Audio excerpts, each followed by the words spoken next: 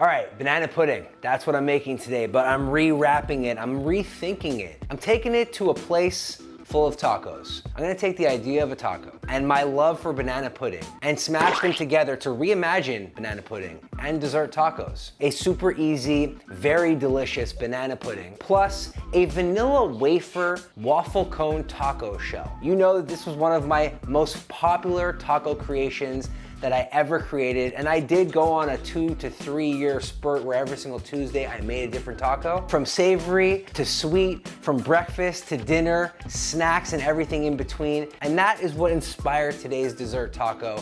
I love banana pudding. I love it. And I'm always trying to take things that I love and rewrap them. And that's where the inspiration came for the banana pudding taco. So, banana pudding. All you really need for this is to add milk and then whisk it all together and throw it in the fridge and essentially there you go. That's your banana pudding, but that's not what I'm doing. I'm using two cups of heavy cream, and that is intentional. The reason I'm doing that is to get a thicker consistency. And I'm not even gonna stop there. Not only gonna add some more thickness via some uh, sweetened condensed milk, but later on, add some actual whipped cream to fluff this entire thing up. You know what TikTok's good for? A lot of things, but the best thing TikTok is good for is teaching you how to do things properly. Things we might have been doing wrong our whole lives, like opening up a banana.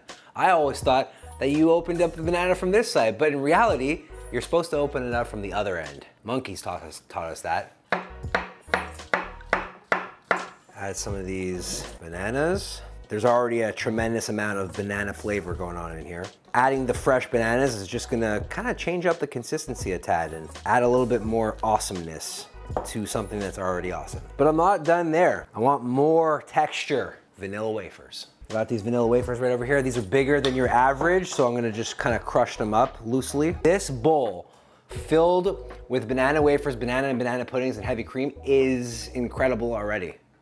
But I'm making tacos. And this is just the taco meat. This goes in the fridge. It's gonna settle up, stay cool, while I make vanilla sugar waffle cones. Okay, so waffle cone taco shells. Essentially, it's a waffle cone, but not turned into a cone, rather just fitted in between a taco shell mold, and then it'll end up looking like so, but this is not gonna be your average waffle cone recipe. The main difference between this and a regular waffle cone is vanilla sugar. It's exactly what you think it is. It's granular sugar mixed with fresh vanilla bean pods. You can even see the little pieces of vanilla running through the entire thing and it smells amazing, almost artificial. Like, you know, you smell like a vanilla candle you get at the body shop or Bath and Body Works or Yankee Candle or whatever, not sponsored. That's what it kind of smells like, except you can eat it.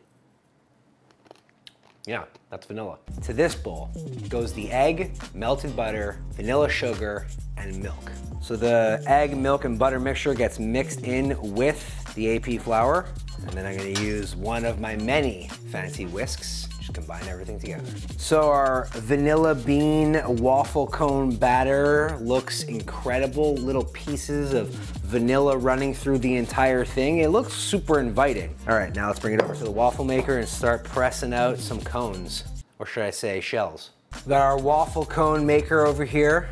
Usually just put a certain amount on, press it and see how far we're getting. And then once that's done, and right before it cools, we only have a couple seconds, I'm gonna use this to mold it in the shape of a taco shell. Banana pudding is prepped halfway through. The banana pudding waffle taco shells are good to go. They're just getting to room temperature so that they don't melt the pudding. Now I'm gonna make the whipped cream to not only put on top of the tacos, but also fold into the banana pudding taco meat. For the whipped cream, I'm just gonna whip together some heavy whipping cream with some vanilla and not add any sugar. And the reason I'm doing that is because there is a ton of sugar passing through every element of this recipe. That sickly sweet taste. You know the one I'm talking about where you eat something super sweet and your cheekbones feel like they're sweating? We're not trying to get there. So no sugar is gonna be used in this whipped cream. Okay, that's perfect. Not falling off, but also not kind of looking like it's buttercream. So we have the whipped cream, the vanilla whipped cream. About one third of this is gonna be used to top the waffles. So what I'm gonna use the rest for is to fold into the banana cream pudding just to give it a little bit more airiness, you know? Take the density out of it, make it a little bit fluffier. Already they look insane, right? But there's more to it. The garnish. What is a meal without a garnish?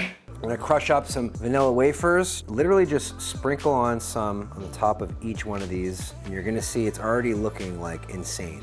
Woo!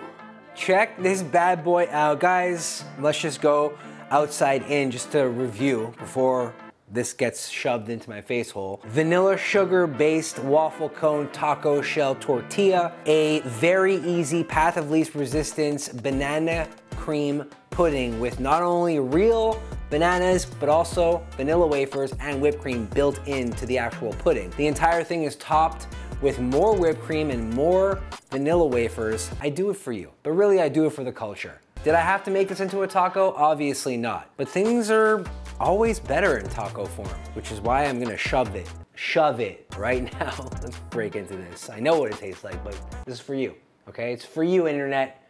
All this bite.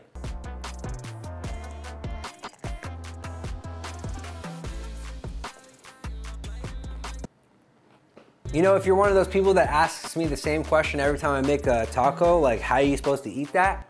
I do it for the art, you know, like artistically it looks really sick, but you can eat it with your mouth like I just did, or just go in with a spoon, dummy. The wafers that I mixed in with the pudding have softened kind of like a cake now. Like it feels like there's vanilla cake inside the taco pudding, but really it's just vanilla wafers. This is one of those recipes, guys, so easy to complete. Follow along, it's that simple. If there's a taco creation or anything else that you wanna see in video form, then leave a comment down below and like always, hit subscribe and if you're already subscribed, turn on notifications. See you guys on the next one. Bye.